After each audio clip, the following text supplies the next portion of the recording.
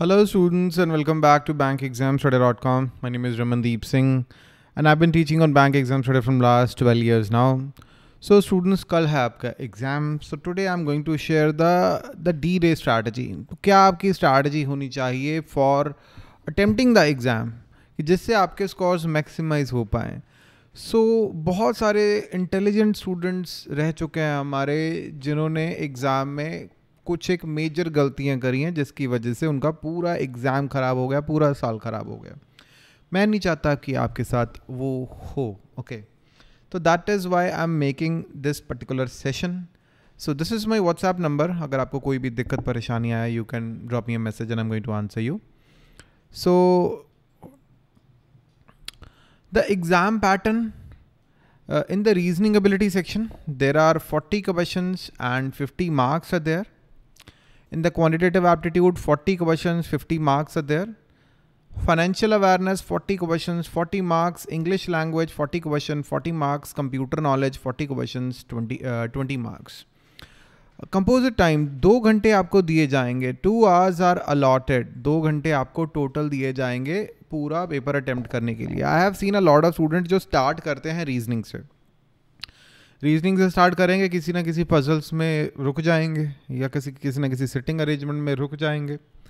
तो they spend like thirty thirty five minutes in reasoning ability even more forty minutes in reasoning ability then thirty thirty five minutes in quantitative aptitude so तकरीबन वो एक सवा घंटा मतलब एक घंटा बीस मिनट तकरीबन यहाँ पे निकाल देते हैं। बिलीविंग दैट कि ये बाकी के 120 क्वेश्चन वो 30-40 मिनट में कर सकते हैं। No that is not possible you need to make a proper plan यहाँ पे सेक्शनल टाइमिंग नहीं है आप देख सकते हो सेक्शनल टाइमिंग नहीं है। So how to attempt the exam before appearing for the exam you need to have a proper plan आपको पता होना चाहिए कि आपने स्टार्टिंग में क्या अटैम्प्ट करना है कितना टाइम लगाना है कितना टाइम uh, मतलब रीजनिंग पे लगाना है कितना क्वांट पे लगाना है। अगर आप कहीं पे रुकेंगे तो उसको कैसे आपने मतलब छोड़ देना है? कौन से क्वेश्चंस आपने अटैम्प्ट ही नहीं करने हैं। तो ये सारा आपको एक प्लान वाइज तरीके से आपको चलना है। So that's up to you कि आपने देखिए there are two two hours are there ठीक है। If you want to give one or one or two quant and reasoning तो that is okay and one or two financial awareness English and computer तो this is a good strategy timing आप ऐसे divide कर सकते हो। Quant reasoning को आपने एक घंटा दिया एंड उसके बाद आप 35 मिनट रीजनिंग को देते हो 25 क्वांट को देते हो 30 30 देते हो that is up to you within one hour you need to complete the reasoning ability and quantitative aptitude section it it would be really nice if you can give 30 30 minutes तीस तीस minute आप अगर देंगे 30 30 minute to the quant and reasoning that will be really great. 30 minutes to reasoning 30 minutes to quantitative aptitude, that will be great, okay? Financial awareness I would say see अगर तो आपको question का answer पता है तो आप टिक लगाएँगे, नहीं पता है तो you you are going to move on चालीस में से चाहे आप दस अटैम्प्ट करें, पंद्रह करें, बीस करें that is up to you जितना आता है, आप उतना अटैम्प्ट करेंगे राइट बीस, पच्चीस, तीस, जितने भी आपको क्वेश्चन आते हैं, आप अटैम्प्ट करोगे right so that totally depends financial awareness you can I guess you can cover that within fifteen twenty minutes are more than sufficient उस सफिशेंट से भी ज़्यादा है. पंद्रह से बीस मिनट फाइनेंशियल अवेयरनेस के लिए सफिशेंट हैं।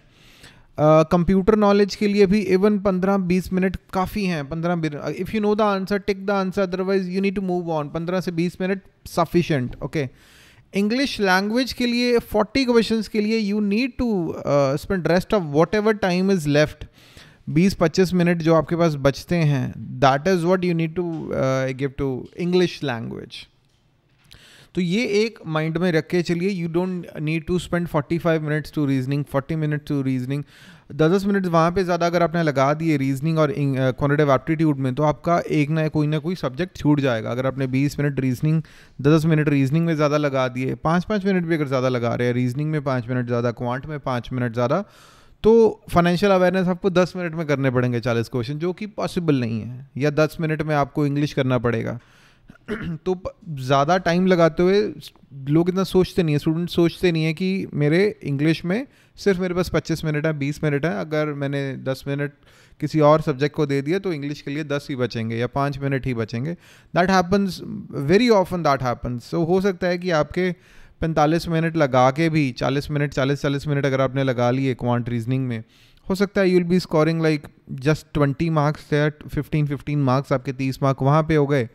एंड इंग्लिश आपने अच्छे से किया नहीं फाइनेंशियल अवेयरनेस में scoring like ten fifteen marks computer में five seven you'll be scoring sixty five sixty six तो जिससे कि आपका एग्ज़ाम नहीं निकलेगा so stick to the time limits thirty minutes में अगर आप पच्चीस क्वेश्चन अटैम्प्ट कर पा रहे हो that is all the trick here is the technique is you need to skip the difficult question the question जो आपको डिफ़िकल्ट लग रहे हैं, वो छोड़ने हैं आपको. 200 में से आप कितने क्वेश्चन अटैम्प्ट कर रहे हो? यू शुड नो आप लेट्स से आप 100 क्वेश्चन अटैम्प्ट कर रहे हो। आप 100 क्वेश्चन छोड़ रहे हो। It is totally fine if there is a puzzle which according to you is difficult you can skip it skip it inequality के क्वेश्चन है। इनक्वालिटी का एक क्वेश्चन ठीक करने पर भी एक मार्क मिलेगा और सिटिंग अरेंजमेंट का एक क्वेश्चन करने पे भी एक मार्क मिलेगा। And if you are facing difficulties in puzzles of the sitting arrangement skip those question directly आप स्किप करें और आगे बढ़ें ठीक है? फाइनेंशियल अवेयरनेस में I already told you I already told you there is आपने uh, कौन से टाइम का करना है। Now you can just watch the video okay let me just hide myself.